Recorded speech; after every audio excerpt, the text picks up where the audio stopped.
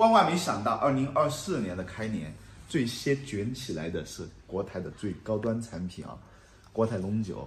您别看小生每天视频里面都是分享各种茅台，那其实呢，我们还是国台酒的经销商。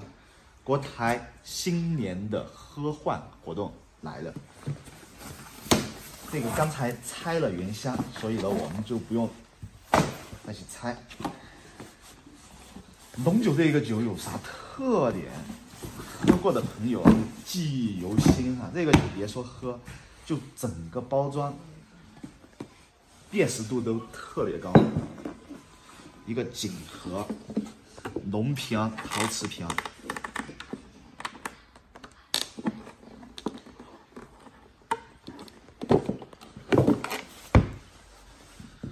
我们还是回归到那个正题，啥是那个喝换活动呢？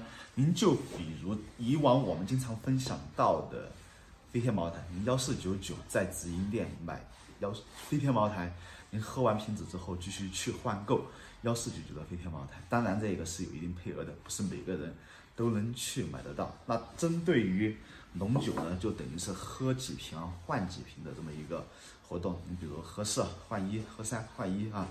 那这个今天呢，我们要倒出几瓶，为啥呢？因为我们朋友觉得去喝的时候，可能喝高了就把这个包装搞掉，所以呢，让我们直接把它倒出来，直接就给他把所有的换的吧，一一次全部搞到位就行。所以今天我们来开瓶，展示一下国台龙酒这个酒的汤色如何。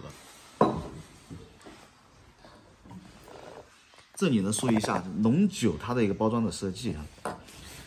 密封特别好，这个瓶身也是特别大气。但是您会感觉买原瓶，你会发现这个酒好像没装满一样的，因为里边确实是五百毫升，但是它的瓶子太大了。我记得那个去年开年的时候，我们倒了好多次龙酒，是吧？嗯。然后让朋友们记忆最深刻的是这个龙酒的汤色，这样看还看不出来。等我那个酒倒的多了吧。就有感觉了，倒满之后那个颜色哇，爆逆黄。等一等啊，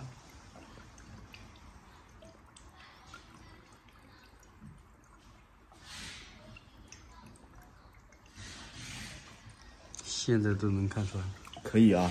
嗯，实际是容器越大呢，嗯就更能彰显那个颜色。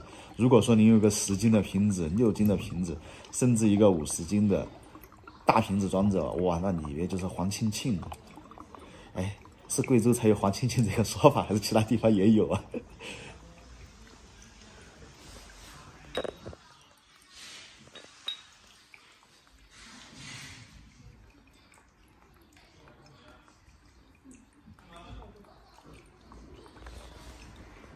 这倒酒速度太慢了。你说又不能像飞天茅台一样的把那个头撬开，就直接倒就行。哎，一滴都不能少。国台龙酒的广告语那个叫做“国台龙酒滴滴稀有”，为啥是这么去宣传介绍的呢？因为龙酒，国台系列产品里边吧有那个国台的十五年年份酒，那龙酒呢也可以算作是。国台的三十年、三十年以上的那个老酒勾条，来，有点看颜色，视频里面怎么样？嗯，然后我们再来摇一摇酒花，大家最喜欢看的就是这个环节，相当的舒服。那这里呢，我们就不用再来去品鉴这个龙酒啊，因为好多老它的那个特点是非常突出的，老陈味特别特别重，然后这个颜色一看着吧，就知道它是老酒，完全不用小声那个说过多的。